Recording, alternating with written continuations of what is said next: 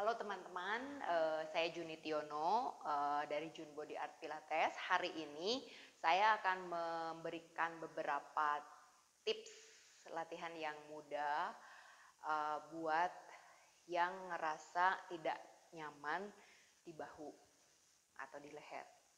Ya, jadi untuk apa sih introductionnya dulu ya, kenapa bisa terjadi sakit? Misalnya seperti pakai handphone, kita terus gini ya, akibatnya dia kan nunduk terus, jadi ada otot di sini yang sakit ya. Terus uh, semisal di depan komputer terlalu lama, terus meja dengan uh, meja dengan dudukan kita tidak ergonomis, tidak sesuai, tidak proporsional ya. Uh, itu juga mengakibatkan semisal nahan begini atau satu sub nyupir itu juga sama. Waktu kita uh, nyetir itu tuh kadang-kadang kita ada yang nahan di sini gitu kan. Nah akibatnya uh, ketidakseimbangan uh, otot. Nah maksudnya tidak seimbang itu teman-teman.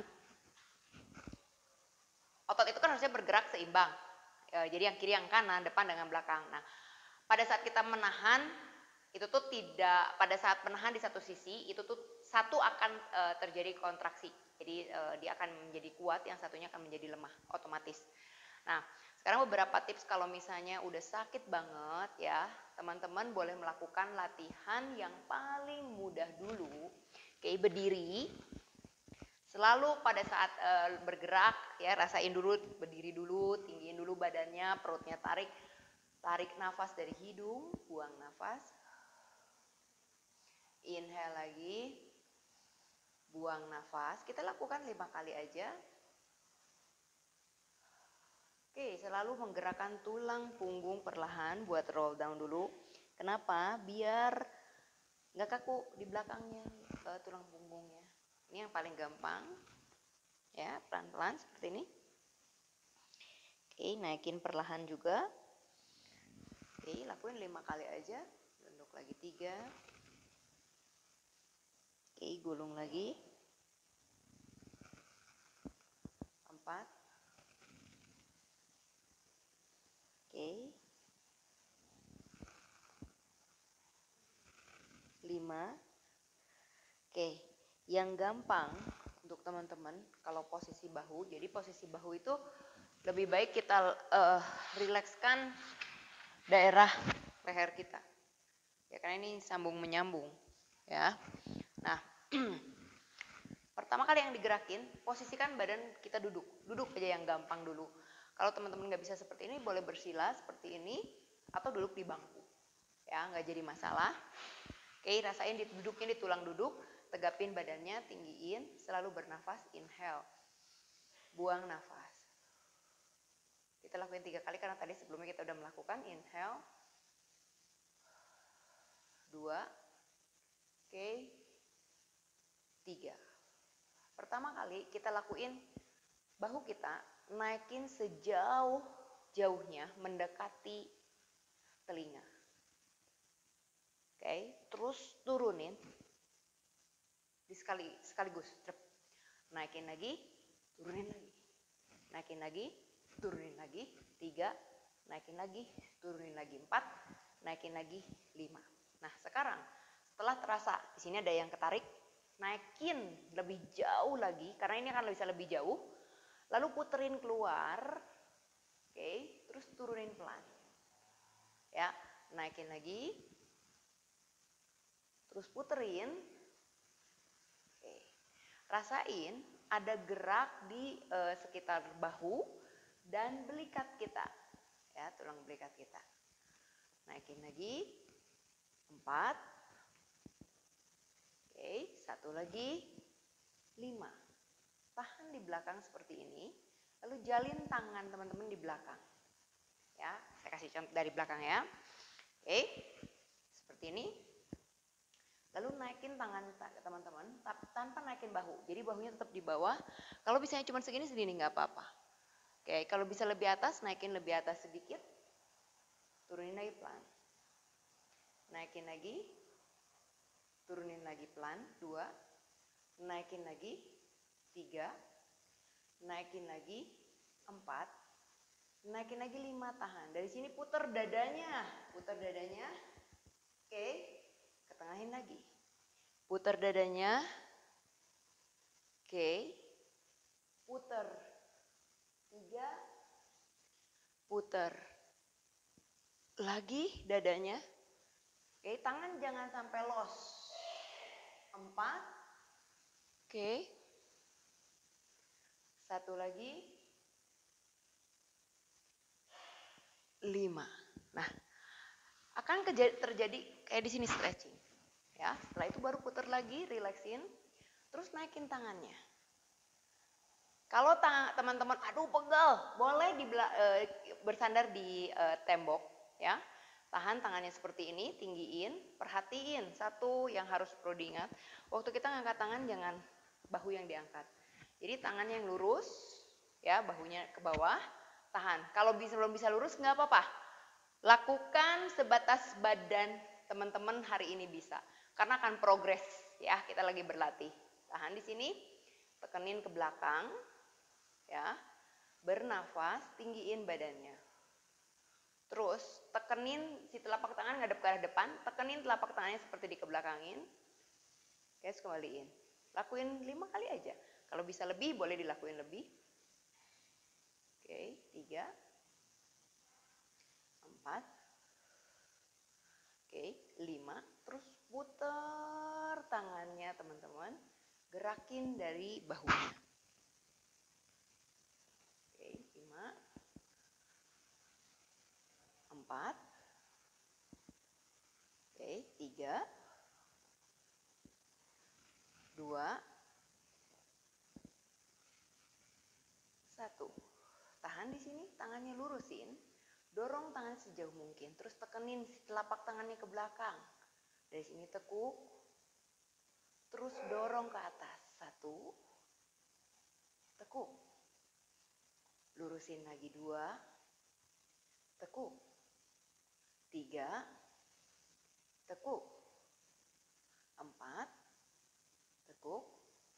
Lima, tahan. Dari sini boleh putar lagi. Nah, rasain waktu kita putar, yang bergerak itu si sendinya dan belikat kita. Ya. Nah, buat leher. Telapak tangannya dorongin. Kenapa? Biar stretch dari sini, dari bahu ke stretch. Naikin up. Terus ke depan lagi. Oke, dua, tiga, empat, oke, lima. Oke, selanjutnya sekarang ke leher. Nah, bawa ke arah samping. Perhatiin, ingat, ingat ya. Jangan telinga yang ngedeketin, eh, jangan bahu ngedeketin telinga. Tahan di sini, bahu tahan di bawah ya sudah ter, udah tahan di posisi yang paling bagus, telinga kita mendekati bahu. Kalau enggak nyampe, nggak apa-apa. Ya, naikin lagi. Kita lakuin tiga kali kanan kiri ya. Ini satu. Oke, dua. Oke, tiga. Tahan di sisi yang satu. Ya, bahunya tetap di bawah, perutnya masih tarik, badannya masih tegap. Sekarang perhatiin, Kepala kita ada di sini. Puter kepalanya, lihat ke atas. Oke. Terus ke tengah lagi, di depan lagi, terus sekarang lihat ke lantai. Jadi kepalanya kita puter ke arah atas.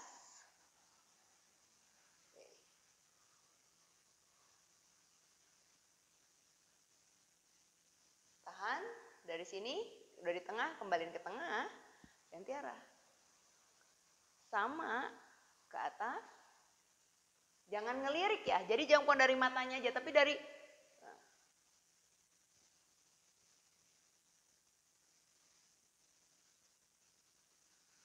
Oke. Kembali ke tengah. Kalau lagi teman-teman melakukan itu tuh tiba-tiba ada krek krek krek krek gitu, nggak apa-apa. Itu tuh kekakuan yang kita stretching, ya. Nah, gerakan terakhir Nah, sekarang leher juga, tunduk, terus depan, terus tenggada. depan, nunduk, depan, tenggada. Depan, nunduk, depan, tenggada, depan, nunduk, tahan dari sini. Terus kita bawa ke samping, putar pelan dan kecil gerakannya. Sekecil mungkin. Oke, lakuin lima kali sisi kanan, lima kali sisi kiri. Perhatiin bahu, posisi bahu jangan dinaikin. Posisi badan juga tegap. Empat. Lima. Kita ganti arah. Satu. Dua. Tiga. Empat. Lima. Tahan di sini. Nah, setelah itu kita boleh bernafas, rasain dulu si bahunya. Oke. Oke. Gerakan lain kita bisa melakukan seperti ini. Yang paling gampang seperti ini, dorongin dadanya ke bawah. Jadi waktu ini ini mungkin kalau beberapa orang menyebut gerakan cat stretch. Nah, Uh, tapi kita gerak ini cuma dadanya doang, dada ke bawah, terus dorongin badannya ke bawah, terus tarik sampai ke lawan arah. Jadi si tulang punggungnya bergerak dari tulang dada, leher, oke, terus naikin dari torasiknya dari punggung, naikin, lakuin lima kali aja.